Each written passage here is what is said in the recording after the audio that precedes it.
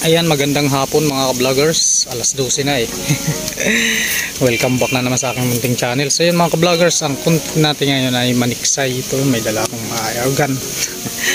Hindi tayo makapag-content ngayon sa spear fishing sa dagat kasi uh, napakalakas lagi ng alon gawa sa hanging amihan. Ayan. Kaya hindi tayo makapag makapaniksay ano. So yun mga vloggers, uh, nandito ulit ako sa isang spot na ayan oh, ka, ano pa siya? Kaati pa. Maliit pang tubig. Uh, subukan natin na magtambang sa mga siit-siit baka lultangan tayo ng dalag ano? Ayun. Yan namimiss ko na kayo. Please comment. Matagal na rin tayo walang upload. Wala tayong up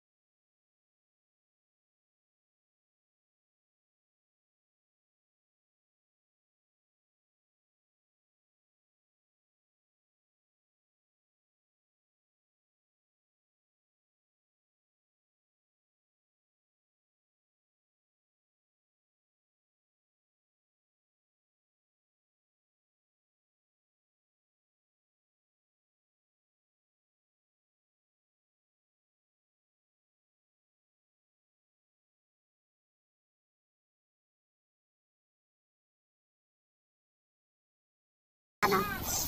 At yun naman yung isa na may huli. Na hindi ko kagad nilusong. Dahil lang tayo ay pag nilusong natin kagad pwede natin mabulabog yung ating spot. At baka hindi na tayo baka hindi na tayo lutangan. Kaya inantay ko na lang makabaril tayo ng isa bago natin lusong kaya siya ay patay na bago ko nilusong ayan siya medyo malaki na. Kaya sayang kung lalagutin natin ang ating ah, tali pati bala sayang pati yung isda sayang. Ano? Ayan malaki na yung ating na huli.